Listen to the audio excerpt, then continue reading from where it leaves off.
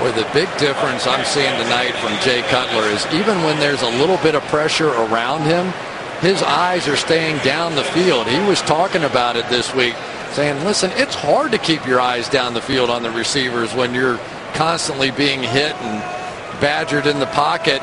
Well, that time, even as he stepped up, he just sort of stiff armed his own guy, found a little space, and threw the ball.